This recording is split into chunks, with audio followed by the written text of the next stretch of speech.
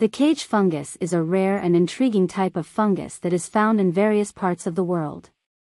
The cage fungus uses its smell to trick flies, according to a recent study. The fungus emits a scent that mimics the smell of decaying flesh, which attracts flies. Once the flies enter the fungus's cage-like structure, they become trapped and eventually become food for the fungus.